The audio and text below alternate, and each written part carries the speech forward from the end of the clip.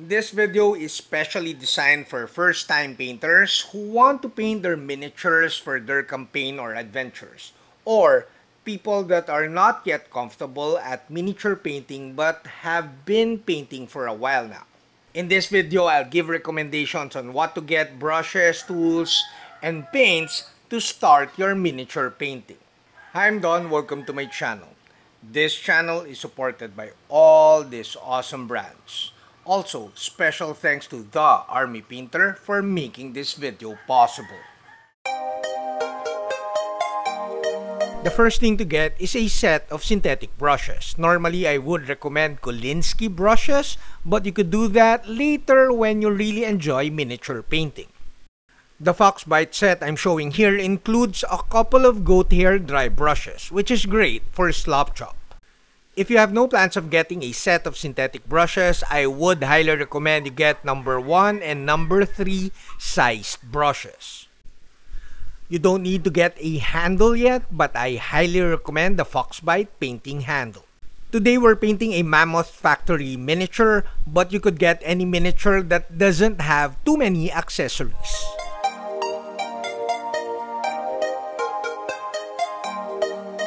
I primed the miniature with gray spray can primer already but will start the actual painting by dry brushing.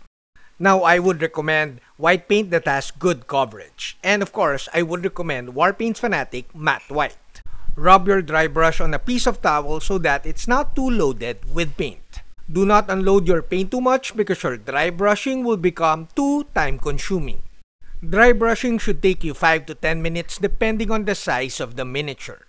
You don't need to start your slop chop with black primer, especially if you plan to use a lot of washes later in the painting process. Even if you invested on Kolinsky brushes already, I would highly recommend not to use them for speed paints, washes, inks, and metallic paints. But that deserves another video so that I could explain it better. I hate that I'm not recommending Warpaints Fanatic or any regular acrylic paints here, but for a total beginner, Speed Paints is more than enough to help you paint your first miniature. I have a ton of older videos painting with speed paints that might help you out with producing great painted miniatures. Like I said earlier, you should choose a miniature that doesn't have too many accessories so that you're focused on just a few colors. Again, miniature painting handles are optional but they make painting more comfortable and fun. Another quick tip when miniature painting, you should pre-select your colors before you start painting.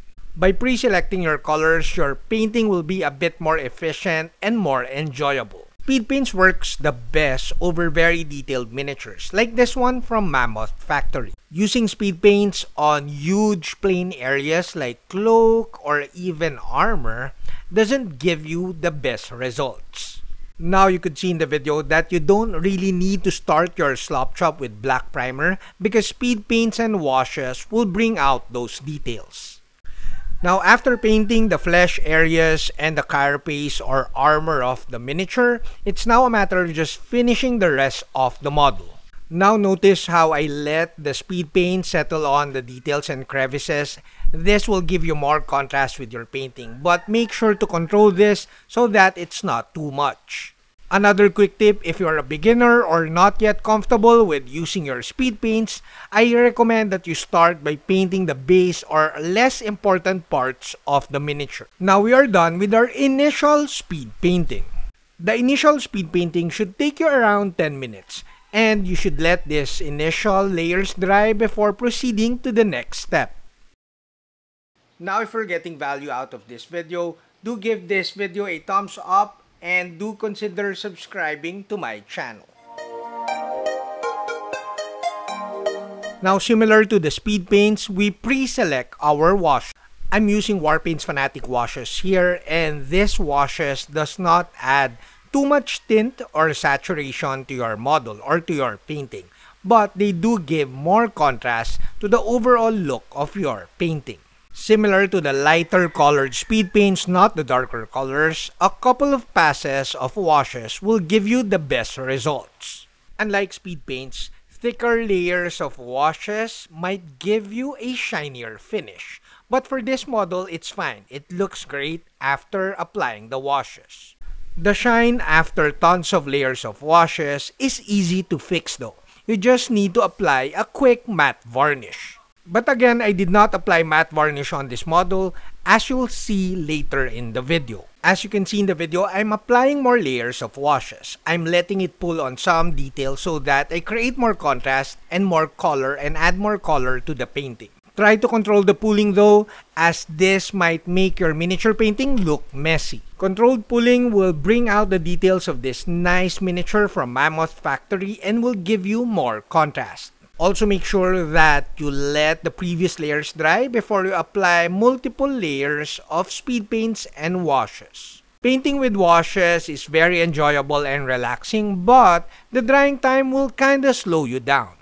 If you want to speed up the drying time of the washes, you may use a hair dryer. But I would recommend that you allow the washes to settle on the crevices and details for around 5 to 10 minutes before using the hair dryer. Now we're applying green tone and red tone washes to improve the color contrast of our painting. Speed paints thin down with speed paint medium will give you faster results if you want to tint the miniature. Now going back to starting our slop chop with black primer, you can see that the washes did its job. Starting your slop chop with black primer will allow you to use less layers of washes. But as you can see in the video, it's something that you can do without. But honestly, I did not start the slop chop with black primer because I simply ran out of black primer. Our painting is done and your miniature is ready for its adventure. But we'll try to add a little bit more pop to our painting by using FX paint. Now this part of the painting is totally optional especially if you don't like blood and gore since we're using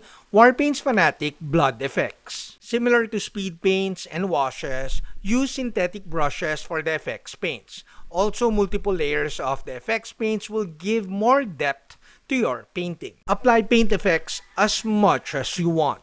Now, before I reveal a huge thanks to all my patrons at Patreon, Hajime Model Studio, and of course, The Army Painter for making this video possible. Now, like I said earlier, key to selecting your first miniature painting or first miniature is to select a miniature without too many accessories, thus too many colors. This is important so that your very first painting looks awesome and that you're just focused on making sure that a few colors look good. Also, like I always say in my other speed painting videos, selecting a very detailed miniature like this one, this Mammoth Factory model, renders really well with speed paints and washes. Also, even if you have Kolinsky brushes already, it's important that you only use synthetic brushes for speed paints, washes, and inks. This is so because speed paints, washes, and inks are very runny. And if you're using Kolinsky brushes, the runny paints will slowly like build up in the ferrule of your brush, of your Kolinsky brush. And this will slowly damage your precious brushes. It is important to note though that synthetic brushes does not hold their points or are not as durable as Kolinsky brushes. But if you want more control, simply use newer synthetic brushes. I hope this video will inspire you to paint your very first miniature for your campaign or adventure, or simply paint or speed paint more miniatures. If you like this video, do leave a comment below and tell me what other type of miniatures you would like me to speed paint. Lastly, if you like this model, do check out Mammoth Factory at the description below. Also do check out the brushes and the handles from Foxbite. I have a 10% discount.